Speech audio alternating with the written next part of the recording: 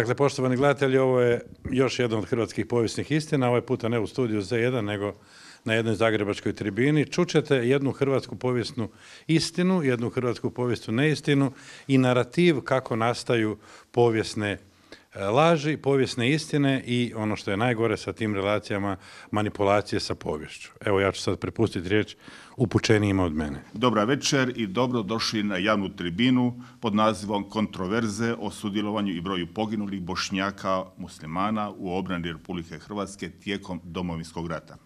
Tribinu organizira Udruga za promicanje istine o hrvatskoj povijesti. Medijski pokrovitelj je Z1 televizija i Hrvatski tjednik.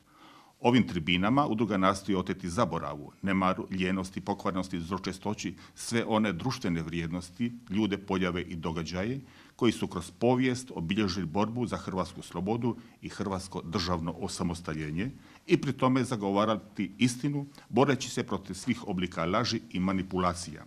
Na podlozi istine i pravde gradit ćemo mir među ljudima, narodima i državama, bez obzira koje su nacionalnosti, vjere, boje kože ili političkog i drugih uvjerenja. Želim se zahvaliti svim hrvatskim braniteljima, osobito poginulim, nestalim i umrlim kao i njihovim obiteljima za žrtvu koju su dali u obrani hrvatske slobode i ustavnog pravnog poredka Republike Hrvatske tijekom domovinskog rata. Svima onima koji to nisu želim kazati da je za to kasno i da im nije mjesto na bilo kakvom, kakvim popisima. Na ovu tribinu, pored aktivnog sudjelovanja, uredno smo, uredno smo pozvali predstavnike udruge Bošnjaka, branitelja Domovinskog rata Hrvatske. Nisu se odazvali, ali su zato sinoć poslali kratku poruku da, se ne, da ne baratamo, da baratamo netočnim informacijama. Pozivnicu smo uputili i na adresu Islamske zajednice u Hrvatskoj, Ministarstva hrvatskih branitelja, Ministarstva kulture i gradu Zagrebu. Grad Zagreb se je ispričao. Znate, ovakvi skupovi danas se proglašavaju neprijateljskim i onda vam odbijaju sve državne institucije poslati svoje predstavnike. A kad bi poslali svoje predstavnike, možda bi ih uvjerili u neku povijesnu istinu, a to ne bi bilo dobro. I zato mi održavamo već desetke i desetke tih e, tribina, ali nikada, baš nikada nam se nije odazvao ni jedan pozvani predstavnik državne, lokalne uprave ili samouprave. E, ne može se reći da ih ne zanima povijesna istina. E, ja bih prije rekao da ih ne smije zanimati povijesna istina Hrvatske. Zašto udruga za promicanje istine o hrvatskoj povijesti? Zato što je lažiranje i falsificiranje povijesti jedan od načina vladanja narodom. Ne samo u Hrvatskoj, širom svijeta. E, falsificiranje povijesti jednog naroda to znači rezanje i utiranje njegovih korijena. Narod bez korijena je nestabilan, kao biljka na vjetru, povija se onako kako valovi dolaze. E, hrvatski narod je na udaru tako velikih povijesnih falsifikata da mi nećemo moći crpiti sve teme, pa evo ni na kraju svoje prve godine rada i na početku druge godine, jer se hrvatska povijest falsificira od davnina. No samo da za primjer spomenem one najveće falsifikate u ne tako davnoj prošlosti, to su falsifikati o NDH, koje neki članovi naše udruge e, preinačuju e, istraživanjima i znanstvenim spoznajama, ali nemaju pristupa naravno e, javnim medijima. Druga velika neistina je 1945. godina. Možete li vjerovati da u 30 godina postojanje Hrvatske države nismo ekshumirali niti 1% ubijenih 45. od strane komunističke ruke bez suda. Tu je poanta. Nedavno smo doživjeli još jednu tešku laž i falsifikat. To su posljedice srpske i crnogorske agresije. To su zločini koji su počinili u Hrvatskoj. E, vi ćete se začuditi kad ću vam reći da smo jedini rat koji se dogodio u zadnjim desetljećima, barem u Europi, odnosno u Europi, Aziji i Africi, ne znamo za daljnje ratove, e, jedini rat u kojem smo od prvog dana verificirali, identificirali i evidentirali svaku civilnu žrtvu. U stožeru saniteta smo na 32 mjesta imali eksperte za identifikaciju. I oni su svaku civilnu žrtvu identificirali da bi se moglo provjeriti da nije bio branitelj, jer onda nije civilna žrtva. I takve podatke koji su bili apsolutno provjerljivi, dali smo našim vladama i ovoj vladi. Nijedna nije prihvatila brojku od 7263 ubijena civila, među njima 402 djece. Ni danas se to ne smije govoriti, a kamoli napisati. To su e, falsifikati s kojima se jedan narod drži u pokornosti, a drugi dobiva vjetar u leđa. I upravo zbog toga naš veliki prijatelj i domoljub u Australiji, spomenuo ga je gospodin Vladanović, Marko Franović je odlučio da nam pomogne i sponzorira e, materijalne troškove za održavanje ovakvih skupova. E, što je problem? Ja bih rekao u nas Hrvata jedan problem koji je puno veći nego svih drugih naroda. U većini država falsificiraju oni koji su zločine počinili. Falsificiraju počinitelji zločina da se obrane. Kod nas falsificiramo mi koji smo žrtve tih zločina. I to je ogromna razlika. Mi kao žrtve zločina 45. Mi kao žrtve zločina 91. Mi ne dozvoljavamo toj istini da se iskopa da izađe na površinu. I tu je problem našega društva i tu je problem naših raskola i tu je problem kočenja razvoja Hrvatske i tu je problem hrvatske sreće. Evo zato hvala što ste došli. Večeras ćemo opet obraditi jednu ovakvu temu. U našim, na našim tribinama e, uvijek sudjeluju stručnjaci koji se bave jednim područjem i živi svjedoci koji su proživjeli to razdoblje o kojem se radi. Tako da uvijek možemo e, sa svakim ući u jednu konstruktivnu, argumentiranu raspravu, ali nam niko takvu priliku ne daje. Zato hvala još jedan puta i evo pozivam gospodina Vladanovića da nastavi sa današnjom temom.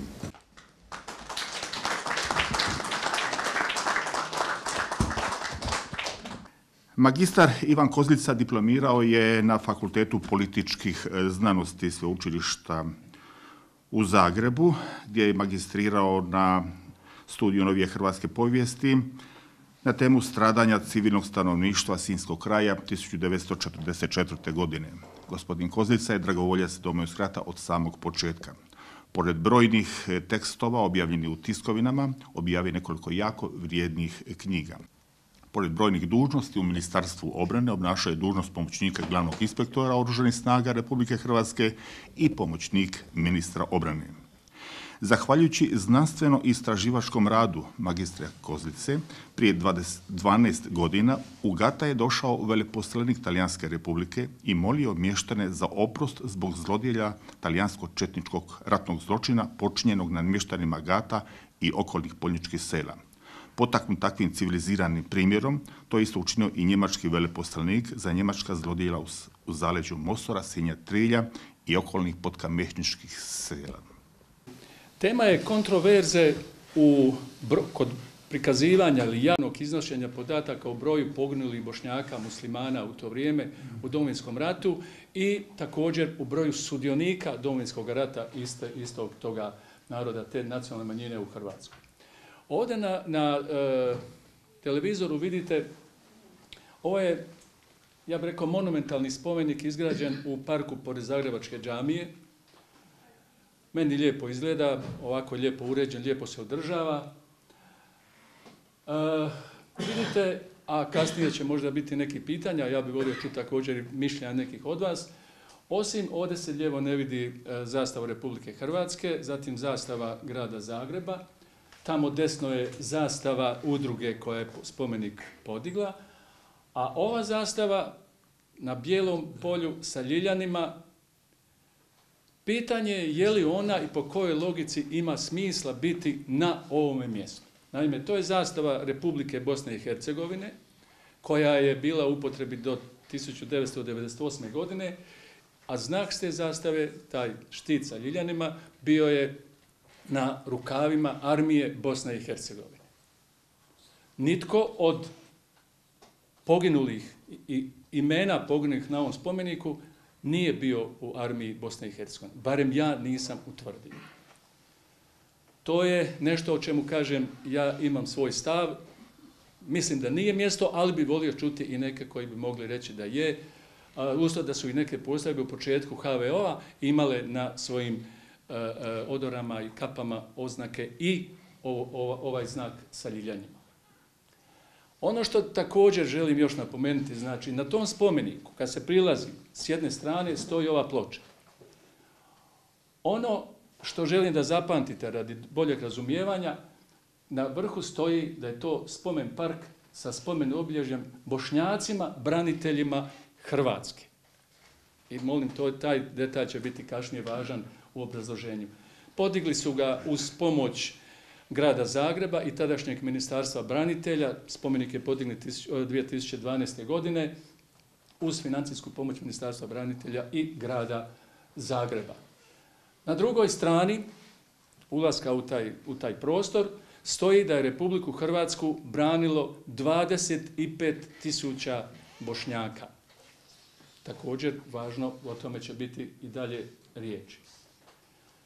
Na spomeniku ima 30 ploča, ovakvi kao što je ova tu jedna, i na njima su, na 28 su upisana 982 imena, a na dvije ploče još nema imena, jer bi još trebalo upisati neka imena koja organizatori, zapravo e, kreatori tog spomenika za sada nemaju, ali oni vjeruju da će doći do tih imena.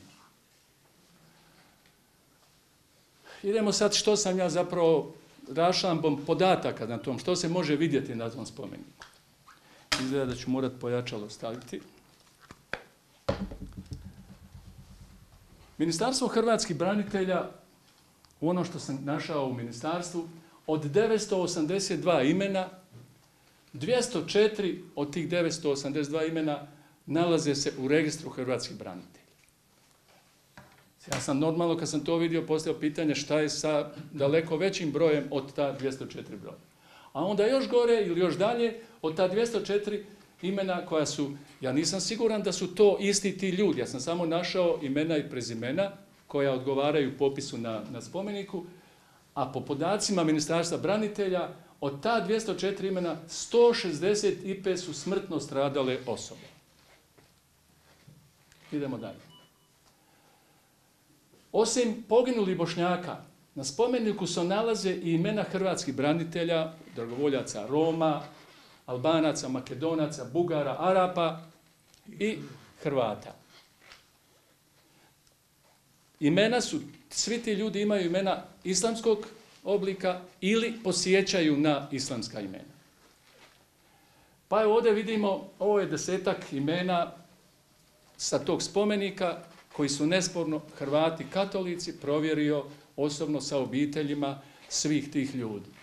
Znači imate ovdje, ljudi su dobivali imena ovaj iz onog razloga, ovaj po prijatelju iz vojske, ovaj po nekom poznatom e, filmskom glumcu, tako dalje. Ali evo vidite ovdje da sad ja ne čitam, sve ti ljudi su na tom spomeniku i njih se na spomeniku tretira kao bošnjake, muslimane. A nikakve veze nemaju ni sa bošnjaštvom, ni sa muslimanstvom, to su sve Hrvati, katolici, evo iz ovih mjesta ovdje. Neki su od njih poginuli u ratu, neki su nestali, a neki su umrli poslije rata jer se vode kao stradali, e, smrtno stradali hrvatski branitelji.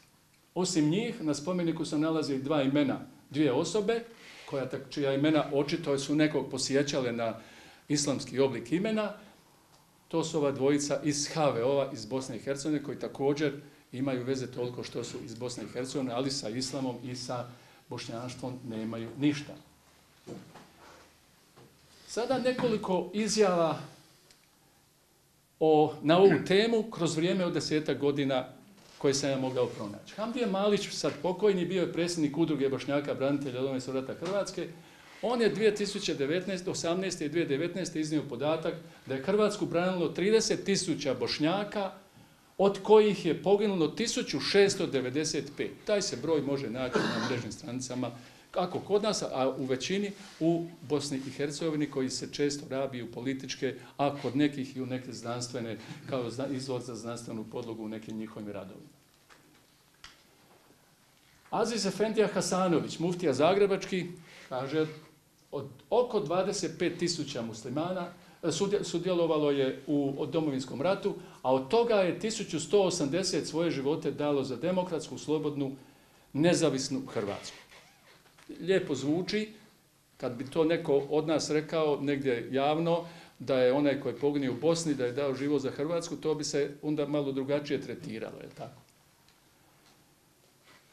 Isa Hodžić, tajnik Bošnjačke udruge, iznosi jedna, jednu novost koja bi trebala uputiti o čemu se radi, a to je da je 16 tisuća Bošnjaka branilo Hrvatsku koji su bili u Hrvatskoj u to vrijeme i još 9 tisuća njih je branilo Hrvatsku a, iz Bosne i Hercegovine.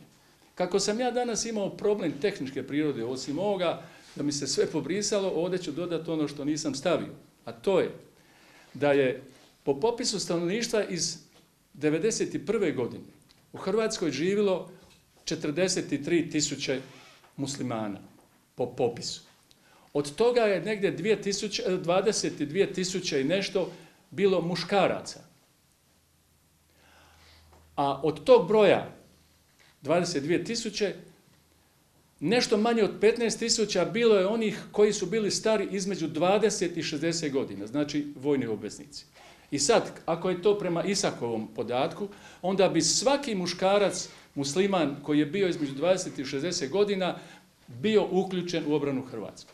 To znamo da nije. Dalje. A ono što, je, što možemo, ko se time želi baviti, ko je vidio, znači ovo je ono što ćete naći bilo koji, upišite bilo koji pretraživač na internetu, naćete 25 tisuća bošnjaka branilo Hrvatsku, a 1127 ih je poginulo i k tome još 80 nestalo. E sad, ja kad sam ulazio u to istraživanje, meni sve bilo nelogično, sve mi je bilo mutno i ja sam pokušao vidjeti i istražiti nešto neštima u, tom, u tim podacima. Prvo, s- e, e, što je e, dva- e, 43 tisuće, broj 43 tisuće muslimana 1991. godine bio 0,9% ili gotovo 1% stanovništva. Ako uzmete 25 tisuća branitelja, onda vam je to oko 5% u sudjelovanju u, obrani, što je nesrazmjer koji bi, koji bi upućivao da nešto neštima. Zatim ako uzmete broj poginulih, poginulih, onda od nešto više od 7,5 tisuća, vi imate ovdje, kako onaj kaže, 1600, to vam je oko 15%, znači 1% stanovništva je dao 15% branitelja na oltar domovine, što smo utvrdili da to nikako ne odgovara istini. Ministarstvo obrane u jednom dijelu koji sam istraživao ima samo podatke za e, Zagrebačku, Zagrebačku upravu, bivšu područje, prema kojoj je u postrojbama, u sastavu zagrebačkih postrojbi bilo e, 1387 muslimana, ovdje se odvoja ovaj broj, a što je 1,41% u ukupnom broju branitelja. U djelatnom sastavu njih je bilo 130 ili 0,86%. Najveći problem, ja sam samo malo prosto, čini sam nešto još gore prešao. Da, ovaj podatak. U izvješću o stanju države i nacije 2000, eh, 1996. za 1995. predsjednik Tuđman je iznio podatak da je od 360 tisuća 070 branitelja, mobiliziranih branitelja, bošnjaci su sačinjavali 1,18%, što je opet više od onog 0,9% udjela u stanovništvu. Jeli? Što bi iznosilo nešto više od 4200 branitelja. Što bi bio realan, k tome se još treba dodati podatak branitelja muslimana koji su bili, bošnjaka muslimana koji su bili u, u policiji, koji su bili u djelatnom sastavu, ali kažem to nikako ne može biti ni blizu onog broja koji, kojim oni barataju. Ovo sam rekao. E, najveći broj imena sa spomenika, i to je važno, najveći broj imena s tog spomenika su pripadnici Hrvatskog vijeća obrane i HOS-a iz Bosne i Hercegovine. Što autori spomenika nisu niti na spomeniku, niti u javnom diskursu nikada ne spominju ovu činjenicu. A ja sam je provjerio, dobio sam iz uprave za obranu Orašje podatke o stradalnicima tog područja. 560 poginulih pripadnika Hrvatskog vijeća obrane bili su muslimani. A od tog broja njih 470 nalazi se na onome spomeniku kod Zagrebačke džamije. I to nigdje ne stoji. Ovdje je podatak iz, iz njihovog materijala koji sam dobio. Znači ovdje imate strukturu stradalnika u prostoru Bosanske Posavine. Znači muslimana je stradalo 560, Hrvata 1286, Srba 21, ukupno 1952, a k tome je još bošnjaka muslimana ranjeno 342, a ukupno je ranjeni bilo 2300. E sad, u tom čitavom istraživanju bivši zagrebački muftija Ševko Omerbašić iznio je podatak u svojoj knjizi koja je objavljena 1999. godine u kojoj sam našao podatak 1991. i 1992. u redovima HV-a poginulo je oko 170 muslimana i još 70 civila. Znači, u vrijeme kada se najviše stradalo u Republici Hrvatskoj, to je 91. i 92. on je imao podatak o ovom broju 170 muslimana, a to je daleko, daleko više od onoga o čemu oni govore. Dalje, napisao je Hrvatskoj je branilo najmanje 13 tisuća bošnjaka muslimana i kaže, mislim da je brojka od 21 tisuće prevelika. To je izjavio Omer Bašić. Međutim, ovaj podatak puno također govori. Naši imami su u Hrvatskoj obavili preko 50 dženaza muslimana. Dragovoljcima koji su se borili na strani HVA.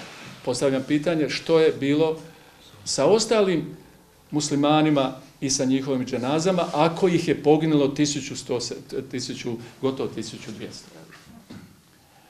Azijska Efendija Hasanović na jednom mjestu je izjavio ja sam obavio 30 dženaza poginulim borcima na području Zagreba i šire. A to je ipak najveći bazen jeli, što, što odgovara i onom broju koji je, koji je izrekao Efendija Omerbašić. E sad, popis nestalih u domovinskom ratu. To je također jedan podatak koji me zanimao kad oni govore o 80 nestalih, onda sam išao provjeriti, a opet po njihovom modelu prepoznavanja po imenu i prezimenu, jer tamo nema podatka o nacionalnosti, ja sam utvrdio da je da su 22 osobe od 1871, to kad sam radio, sad je vjerojatno to nešto manji broj, su neke, neki nestali pronađeni. Uh, utvrdio sam da su 22 njih bošnjaci, a od tih 22 samo su dva hrvatska branitelja u registru i to oni se nalaze na spomeniku. Znači nema e, bošnjaka, muslimana, nestalih koji se vode danas u Republici Hrvatskoj, a da su evidentirani u Ministarstvu Hrvatske branitelja. Ministarstvo branitelja, sad ovo je tu pogreška, neznanje, ja sam svjesna podvala ili nešto drugo. Znači, Ministarstvo branitelja je nemušto, neodgovorno 2012. godine dostavilo udruzi Bošnjačkoj o kojoj govorimo popis poginulih pripadnika oružanih snaga Hrvatske, hrvatskih oružanih snaga i oružanih snaga u Bosni i Hercegovini, HVO-a i HOS-a. I na tom popisu je negdje oko 15.000 ukupno osoba. Kad su dobili taj popis, oni su po modelu prepoznavanja imena, ne, ra, ne rašanjujući HV i HVO, došli do broja 987, onaj koji sam ja već ranije iznio. Autori spomenika uzeli su imena tog popisa, prepoznavajući bošnjake po imenu, to sam rekao. Nekoliko članova obitelji poginulih, nestalih i umrlih branitelja tražili su, kad su doznali da im se imena njihovih sinova ili braće, ili se zavisi o kome se radilo, tražili su da se maknu imena Ne zato što se maknu sa spomenika braniteljima, nego zato što nisu bošnjaci, jer je jako spomenik definirao da je to spomenik bošnjacima pognilima u domovinskom ratu. Pa je jedna majka tražila micanje, uh, micanje svog sina, imena svog sina sa tog spomenika, ona to je potjerana, a jedna je sestra tražila micanje njenog brata sa spomenika poginulima, jer se njen brat još uvijek vodi kao nestali i ona ne želi još uvijek prihvatiti da je njen brat poginio, nego se vodi kao nestali. Iz teksta na spomeniku, literature, javnih izjava i drugog, Nigdje se ne može vidjeti da je najveći broj poginulih osoba poginuo u Bosni i Hercegovini u sastavu HVO i HOS. Veliki broj, naročito u Bosanskoj Posavini, u Srednjoj Bosni, Mostaru, u početku naročito bio je veliki broj muslimana zajedno sa pripadnicima, sa pripadnicima HVO-a i e, oni, su svi, e, oni su svi priznati kao hrvatski branitelji u, u, danas u HVO, sljednici, da tako kažem, u ovom dijelu koja je sljednica tu HVO-a, a isto tako su svi ostvarili sva prava kao i svi drugi članovi, pripadnici HVO-a, bili oni Hrvati, bili Srbi, svi koji su se borili u Bosni i Hercegovini, da su poginuli, njihove obitelji imaju ta prava. I nije istina da se bošnjake, muslimane u tom smislu e, drugačije tretira. Ja sam imao uh, sa, ključnim ljudima, imao sam potrebu raspraviti tu temu sa, odgovornim ljudima. Ovdje sam imao jednu raspravu dugu sa čovjekom koji se zove Armin Hođić, koji je prijesednik uh, vijeća uh, Bošnjačke nacionalne manjine u gradu Zagrebu i on je doslovno meni rekao HVO se borio za Hrvatsku. Nije se borio za Bosnu i Hercegovinu, osim možda u Bosanskoj posavini. I zbog toga nema govora o HVO-u i činjenici da su većina ovih ljudi na tom spomeniku Porezaroviće zamije u glavnom gradu Hrvatske poginuli u obrani Bosne i Hercegovine u sastavu HVO. Kako god to, što god to značilo i e, to, je, to je doslovno tako bilo. Hrvatske institucije o ovome šute, iako svi sve znaju, ja sam bio jedno vrijeme radio u ministarstvu, pričao sa ljudima tamo s ministrom, upoznaga oni su prvi pokrenuli bili jednu tu priču, ali jednostavno se digao zid i iz nekih e, oportunističkih, političkih ili nekih drugih razloga, s time se, o tome se ne želi govoriti. Predsjednik Milanović je prije nekoliko godina bio e, zamoljen da bude pokrovitelj knjige o sjećanjima Bošnjaka, on je to odbio kad je doznao za ovu, za ovu ovaj, priču. Ja sam o tome istupao više puta javno, evo i kode kod Marka Ljubića i više puta pisao u novinama, ali jednostavno nije bilo, nije bilo želje da se nešto korigira, inače lako je to korigirati, samo da se doda nekoliko riječi ključnih koje drugačije, drugačije svjetlo bacaju na čitavu tu priču. Uh, ovdje samo nekoliko primjera, znači ovakve pozivnice odlaze svake godine, na, oni imaju jedan dan, uh, dani Šefika Pezerovića, prvog uh, bošnjaka, muslimana koji je poginio na, e, na Uni, to je negdje početak svibnja, evo 3. svibnja je to bilo ovdje i ovakve te pozivnice po prilici, a zadnja pozivnica je bila ovakva za dan šehida i to je bilo 22.4. ove godine. Predstavnici e, koji se pozivaju, uglavnom se odazivaju, ovdje je bivši gradonačelnik Bandić očito imao dobru suradnju sa ovaj tajnik te udruge Isak Hođić, pored njega i ostali članovi udruge. Ovdje je jedan dio ekipe koja je jedne godine sudjelovala od strane ovoga, i ministarstva obrane i, i ministarstva unutarnjih poslova i glavnog stožera, a zadnju, ovu zadnju godinu, ovo nije slika od ove godine, nego ranije, ministar hrvatskih branitelja uredno polaže vijenac, bez ikakvog, ja nisam upoznat da je ikada bilo ikakve, jer se iz godine u godinu ponavlja, da je bilo primjedbi, nešto bi se trebalo, nešto bi se trebalo promijeniti. Uh, ono što ja želim ovdje naglasiti, ja sam to i u razgovoru s njima i svaki put kažem, slav, čast i slava svim poginulim i nestalim bošnjacima, braniteljima Hrvatske, svim bošnjacima koji su dali prinos obrani hrvatskog naroda u Hrvatskoj i Bosni i Hercegovini. I tu jednostavno radim ogradu prema svim onima koji će reći da ja imam nekakvu drugu namjeru, nego jednostavno mene u toj priči tjera samo istina, jer ja uvijek uspoređujem kada uđe u narativ Jasenovac 700 tisuća, tu treba, tu treba očito stoljeće, dva, tri, da se, da se, to, da se to promijeni. I ovo zbog istine potičemo ispravak krivotvorine, tako i ova tribina, da to smo organizirali, krivotvorine na spomeniku pokraj Zarevačke džamije, ponajprije državne institucije, a potom i sve odgovorne iz udruga grada Zagreba i ostalih.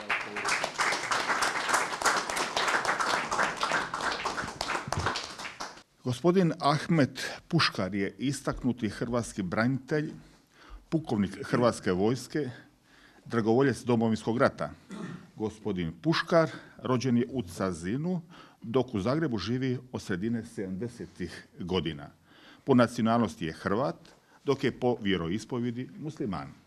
Ima 70 godina, dragovoljac Domovinskog rata od 30.6.1991. godine u sastavu Narodne zaštite od 6.10.1991. pripadnik sam 101. brigade Hrvatske vojske iz Susjedgrada.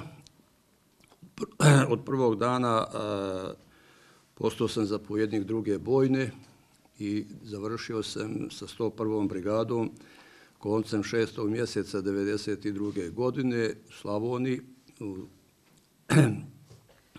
jugozapadnom dijelu ovaj, Osijeka, gdje smo boreli nekakvi skoro osam mjeseci. To je bio užasan teren, najgori mogući uvjeti. Mi smo kao najbolja pričuvna brigada Zagrebačkog, Zagrebačkog korpusa 1991. godine dobili zapovjed da odemo 300 km od Zagreba braniti našu, našu državu, našu Republiku Hrvatsku, odnosno da idemo pomoći ljudima u Vukovaru da ne bude ono što se desilo. No, međutim, mi smo krenuli upravo 18.11.1991. godine, taj dan kad je Vukovar pao. Mi smo već bili na putu prema Vukovaru, međutim, desilo se što se je desilo, nas su u Našicama ustavili, tamo smo prespavali jednu noć, drugi dan smo dobili ovaj, naše zadaće, naše zonu odgovornosti. Mi smo svi došli iz ovih brdovitih krajeva. Svi znamo kako je Zagreb, kako je okolica, kako je ovo, kako je ono. I doći sa 2000 ljudi u takav ravan položaj, to je bila e, neizvediva misija, da ljude zaštitimo. Ali eto opet pomoć, pomoć ovih naših domaćih prijatelja, domaćih suboraca, kriznog štaba i ostalih institucija njihovi, oni su nama ipak ovaj, uspjeli pomoći da mi smjestimo ljude u kuće, pa kakve su takve su, kuća je kuća, ovaj, nije, nije čovjek vani. U tom Jovanovcu, odnosno današnjem Jovanovcu, imao sam svoje zapovjedništvo, zapovjedno mjesto, imao sam svoje ovaj, prištavske jedinice, imao sam tri satnije, dvije satnije su bile na, na položajima, treća je bila u pričuvi, ukoliko bude trebalo ovaj, zamijeniti jednu tih dvije satnije koje su na prednjoj liniji. Međutim, to se i dešavalo. To se nakon, nakon pet dana boravka na, na tom mjestu meni pogine prvi vojnik u, mojoj bojni. E, pogodio ga je e, bezazajni top, jer je bilo 500 do 600 metara između nas i, i neprijatelja u toj ravnici. E, jadni poginuli Simon Tomislav i njegov pomoćnik bili su na pušku mitraljezu i oni su valjda malo i djelovali, malo su pucali, otkrili su ih i onda su oni pogodili tu kuću. I onda je cijela satnija, budući da je to prvi čovjek koji je poginuo, e, budući da su ljudi e, uznemirili se, počeli na sve strane negodovati, ja sam bio prisiljen izvući kompletnu satniju i uvesti ovaj, onu treću moju satniju koja je bila u pričuvi. ove sam ljude maknuo da se drugi dan da se to sve smiri, da, da, da legne. Morao sam prvo ljude ovaj, objasniti da je ovo rat, da ovo nije nikakva vježba, da ovo ništa ovaj, nije da se može ponoviti. Rat je rat, u ratu ljudi ginu. Tako da sam ja tu satniju, treću satniju ovaj, uveo, rasporedio, oni su držali svoje položaje, prva satnija se za dva dana smirila i treći dan su insistirali da se oni vrate ponovo na svoje položaje, što sam ja njima i udovoljio. Mi smo se vratili 30, 29.6.1992. godine iz Slavonije. Imali smo 35 e, poginuli, nažalost, u Slavoniji. 101. brigada je e, tijekom boravka u Slavoniji na Pokupskom i nakon Oluje imala 48 mrtvi, od toga je petorica su bili stote brigade koji su nama bili u Slavoniji pridodati i ovaj, jedan nestali koji je, ovaj, on je gore poginuo, njegovi kosti nikada nisu ovaj, pronađeni. Nakon povratka brigade, ja kao pukovnik Hrvatske vojske prelazim po zapovjedi zapovjednika obrane grada Zagreba, gospodina Darka Grdića, tad je bio pukovnik, danas je general pukovnik, u mirovini vjerojatno. Prelazim u 145. brigadu, to je brigada iz Dubrave, E, na mjesto zapovjednika Voto Bojne, gdje sam ovaj, dva puta imao južno bojište, dva puta ovaj, u Bosanskoj Posavini i nakon toga su me demobilizirali, ali to za, za drugi put. Da, da. Evo, hvala vam lijepo što ste slušali.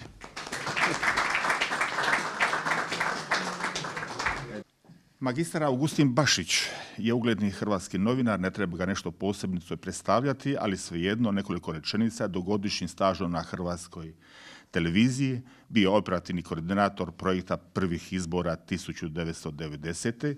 Jedan od utemeljitelja redakcije za religijsku kulturu pri informativnom programu, te sada već daleke 1991. S Paterom Tončom Trstenjakom vodio je emisije Miri dobro, sudjeluje u realizaciji emisije projekt posjete pape Ivana Pavla II. Hrvatskog. Autor je urednik i urednik prvog međureligijskog televizijskog magazina Duhovni izazovi. Kasnije i autor emisije Ekumena. Autorski potpisuje desetak dokumentarnih filmova o misliocima i teolozima, dobitnike više nagrade, društvenih priznanja za promicanje kulture, dijaloga, magistar Augustin Bašić već desetljećima aktivno sudjeluje u radu Poljičke zavičane zajednice u Zagrebu, upravo ovdje na ovoj zagrebaškoj adresi. E, glavna moja tema je islamska zajednica u Republici Hrvatskoj, položaj djelatnost u društvu i njezin doprinos međureligijskom dijalogu i suživotu. Religijska slika nam govori prema popisu stanovništva iz 21. da po, vjerskoj pripadnosti katolika je 78,97%, pravoslavaca 3,32%, a muslimana 1,32% u odnosu ranijih 10 godina 1,47%. A zapravo su najveća skupina iznenadite se, ateistička ili agnostička ili nevjerujuća i nijednoj religijskoj zajednici pripada skupina. Njih je više od šest i zarez nešto posto. To je također zanimljiv podatak o kojemu evo, u javnosti se vrlo, vrlo malo ne govori. Da. A udio Bošnjaka, ono što se nas osobito tiče u stanovništvu, je bio 0,62%. Roma 0,46% i Albanaca 0,36%.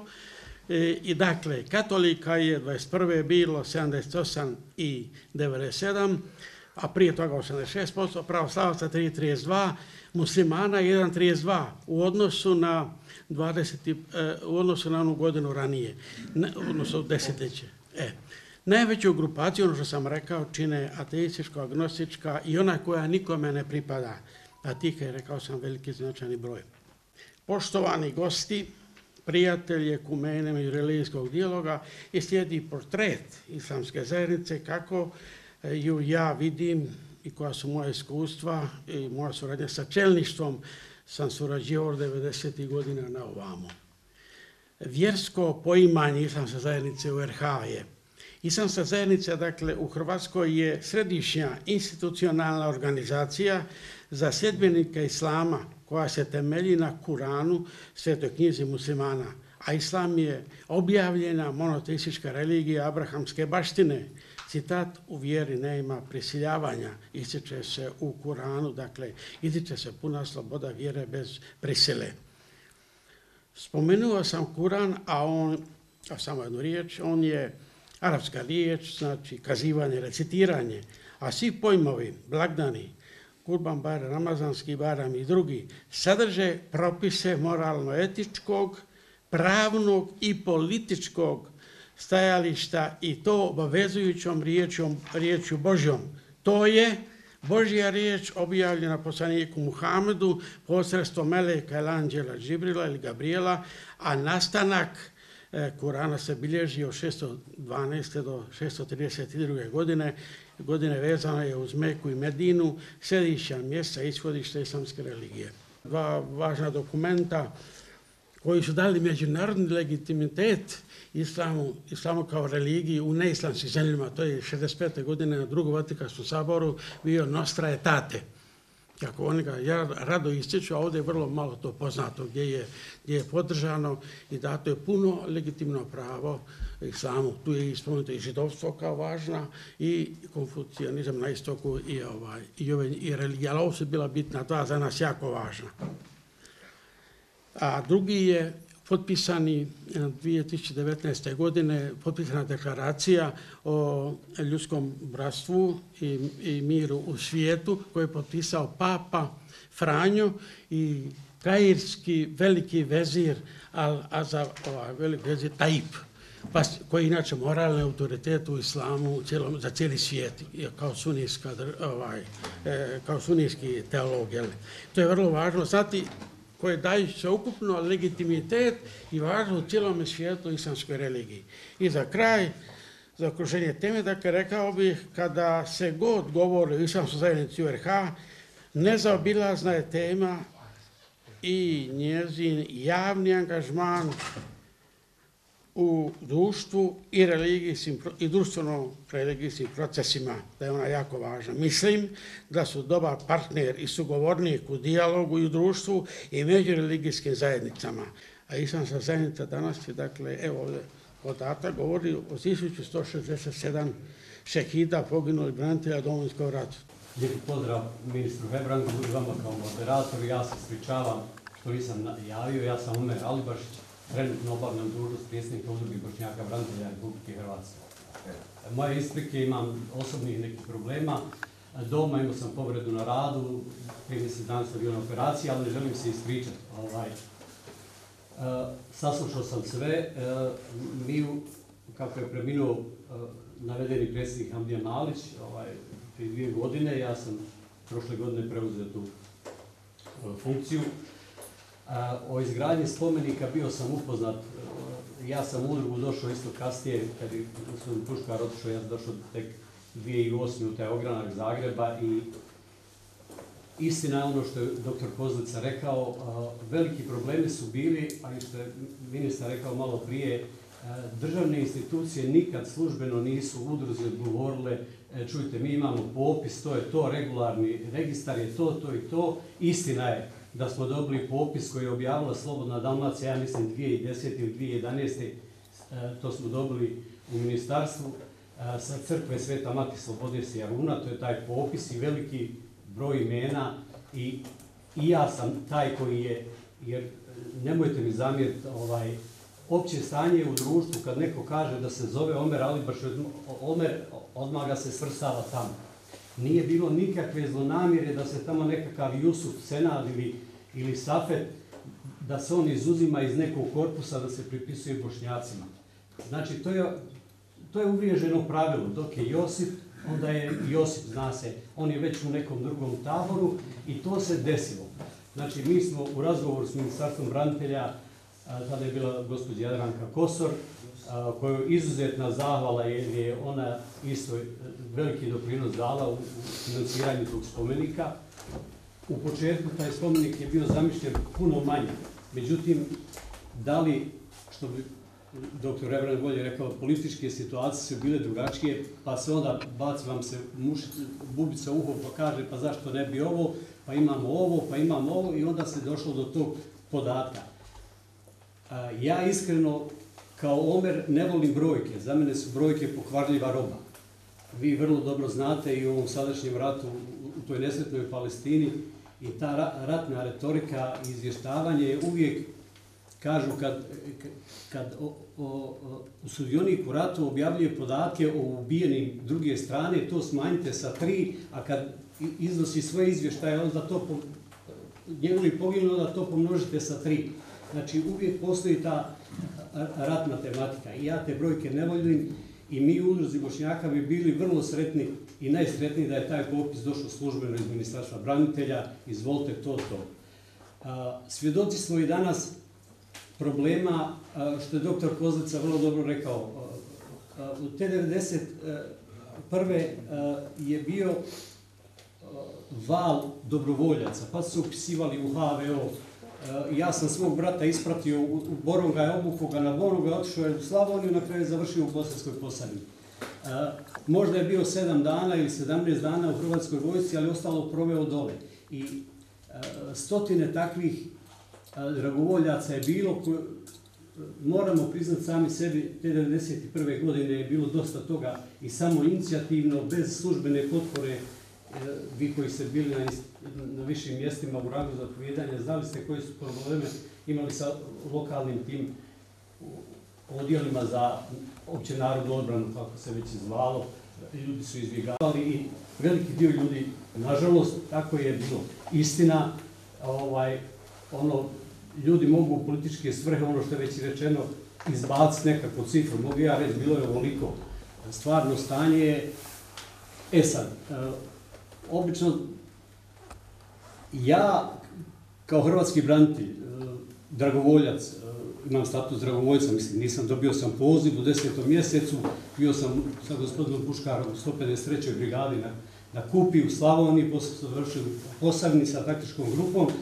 A, ovaj, I ponosan na to. Ja sam u prvom redu ponosan na svoje bošnjake iz jednog razloga. Nijedna institucija u Republici Hrvatskoj islamska zajednica nije službeno rekla e, bošnjaci, e, muslimani, tadašnji, izvolite se, prijavite se u Hrvatsku vojsku, mi ćemo nešto dobiti. Svi oni koji su došli, pa bilo njih sto, ne o 4000 ili 25. Ja sam sretan zbog toga. Svi oni koji su došli u Hrvatsku vojsku, došli su srcem i vjerom u Hrvatsku i to su napravili samo inicijativno. Nije bilo služba, e, evo ti ovo, evo ti ono. Imali su izbor i sam sam imao izbor, mogao sam otići. A, onaj Amnesty International je rekao, evo izaberi državu gdje hoćeš otići. Ovaj, ti 91. I ja sam zbog toga ponosan na sve, a da li je ta imena na popisu, a, ovo što je doktor rekao naprijed.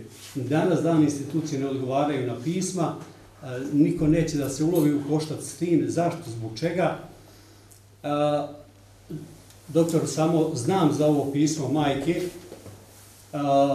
nemojte zamjeriti, ali ja ću sad reći, ovaj, vi sad zamislite, uzet ću ime Nada, udala se za Hasana, ima sina Omera. Šta sam ja mogao te 2009. i 10. staviti na spomenik ako je sin Omer od, od, od Hasana? Da li on Hrvat, da li on izjasnio se kao katolik? Mogli su provjeriti. Ali od koga, velim vam, odete u ministarstvo, niko vam neće dati popis i reći, evo to je to. Druga stvar, e, vi imate danas, spominje se e, e, broj po popisu stanovnika. Hrvatska službena ima 36 tisuća bošnjaka, 11,5 hiljada muslimana i 9.600 Hrvata islamske vjere. Znači, to, to Skupite se. Ali kako da se skupimo? Državni zakon je takav, kaže, sloboda njegova može, imate sad, pojavljuju se i bosanci i ostalo, ali svi su, svi su u džami. I onda kaže on, e, ne, mene izuzmi e, sa tog popisa. Na, najlakše je izuzeti, međutim sad su problemi kako to izuzeti iz, iz, iz imena. Sa gospođom je bio upoznato i tim zahtjevom i, ministar Tomo Medved i mi smo bili na razgovoru i sve to, međutim neće niko iskreno da se ulovi u koštac, to je to, oni su svjesni svog propusta, mi jesmo neke propuste možda napravili i istina ovo što ste vi rekli, to su pripadnici koji su bili obučeni, e, uniformirani ovdje, otišli su na posamsto ratište, i sami ste rekli od Orašja, od Brčkog, Ravne i ostalo, to su pripadnici 40% od nekih postoji su činili muslimani u odnosu na ostalo. Ovaj, e, taj spomenik nije tamo da nekoga iritira, da neko postavlja sumnje, jer to od nas niko nije imao namjeru. E, to da nismo imali e, državne institucije na raspolaganju u punom kapacitetu, oni su pustili normalno spomenik je napravljen u sve dozvole, u sve ove zahtjeve. Što se tiče toga, sad da se vratim na, na sam spomenik i na zastavu. Ja osobno sam završio na ispitivanju kad je Savjet za nacionalne manjine Republike Hrvatske prije sedam godina donio je odluku čije je to uređenje, gospodin Tolnauer i ekipa koja je u savjetu, e, donijeli su odluku da je zastava sa Ljiljanima nacionalna zastava Bošnjaka u Hrvatskoj.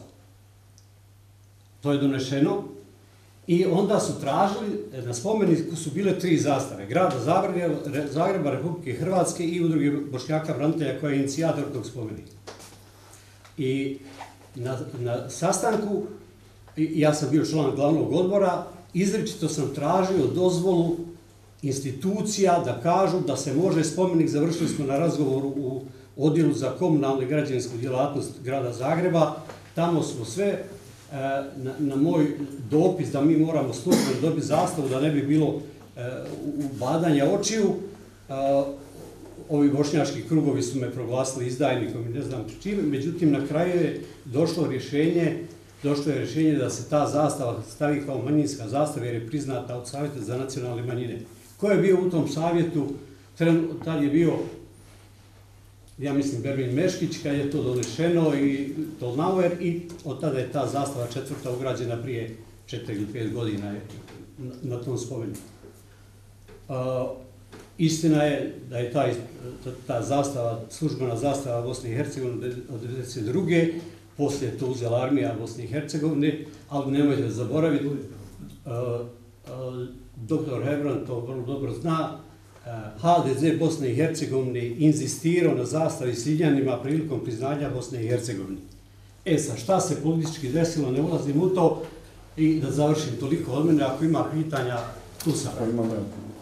Vas, evo, ja nemam, ja nemam pitanja, ali uh, ja se zahvaljujem iskreno. Evo, svaka vam čast. Meni je žao, meni je žao, oprostite, meni je žao kad smo razgovarali, mi smo upravo željeli i da smo imali komunikaciju, kao što, da sam znao da ste došli, bez ikakvog problema, vrlo rado. Vidite da se najnormalnije može pričati. Nama nije bio cilj ovdje, ni meni nije bio, meni nije bio cilj, vidjeli ste po mom izlaganju, ja sam, ja sam vrlo konkretan, ali ja nisam do sada imao, ja sam bio u vašoj udruzi i tražio i dobio podatke i sve, i razgovarao sa vašim ljudima i, uvjeren sam, vidim da vi imate razumijevanje za ono što ja, ne samo ja, pazite, ja sam jedan od osoba koja se javno za ovo zalaže, Ante Nazor, vi ste, ne znam, imali, Ante je večeras doći, ali ima jednu drugu obvezu na televiziji, on ima iste podatke, isti stav kao i ja ovdje. Vi ste sve potvrdili i hvala vam lijepo, i za ovu zastavu, ja sam zato postavio pitanje. Vi ste rekli, zastava je taka, taka, ali isto tako, ja kažem, to je bila zastava. Normalno da će onda nekoga što ste rekli, kao što ste imali problema.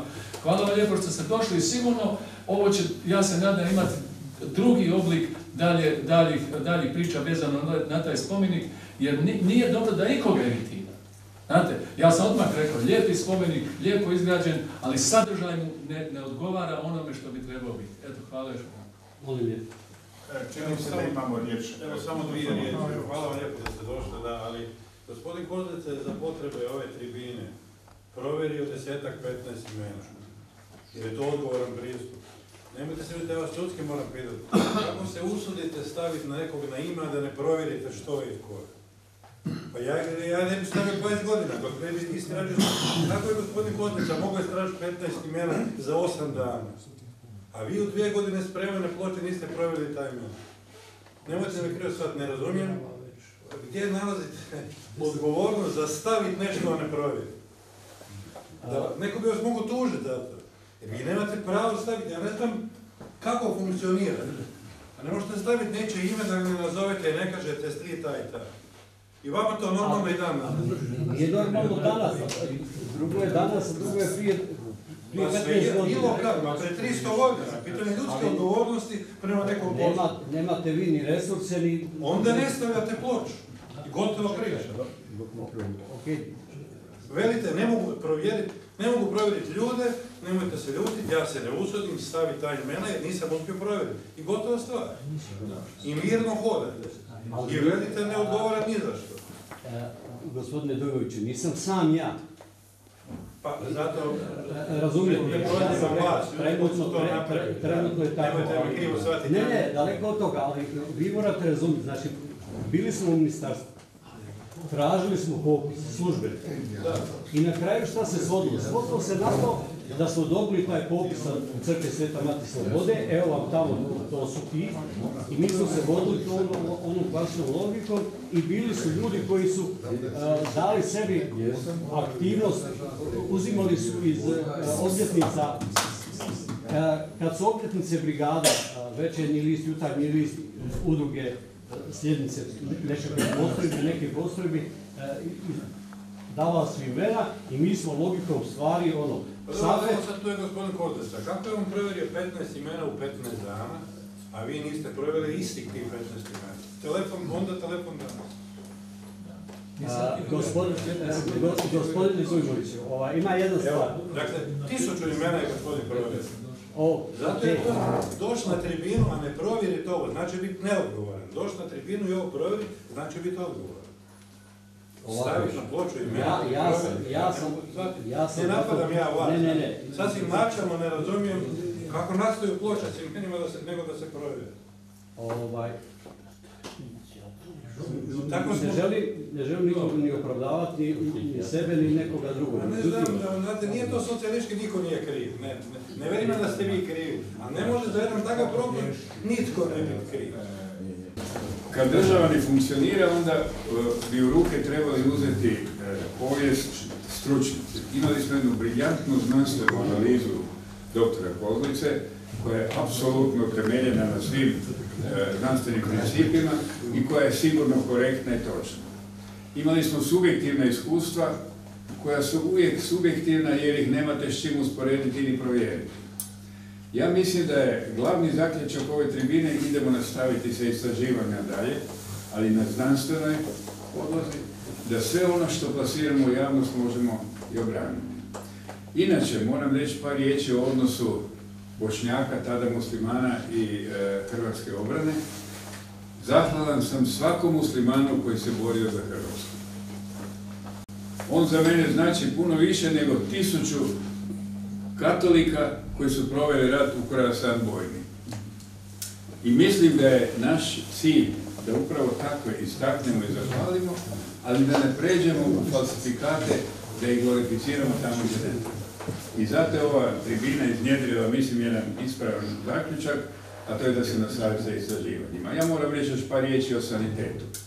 U našem sanitetu nismo imali puno muslimana, e, e, liječnika i sestara, vjerojatno nisu bili zainteresirani za sanitet, ali smo liječili 32 tisuće bošnjaka, odnosno tadašnjih muslimana, samo u Splitskoj bolnici. E, ratni ravnatelj profesor Biočić, e, kad sam mu rekao daj napravi popis koliko smo liječili muslimana iz BiH u vrijeme kad smo s muslimanima bili u ratu, kad smo bili s muslimanima u BiH u ratu, mi smo liječili 32 tisuće muslimana. I to onih koji su ratovali protiv nas i njihovi obitelji koji su izbjegli u Hrvatsku. I mislim da bi taj kompleks odnosa trebalo i to staviti i da je tome mjesto na jednom velikom spomeniku kao što je ovaj kod džamije. Pa predložite nek i to metnu spomenik.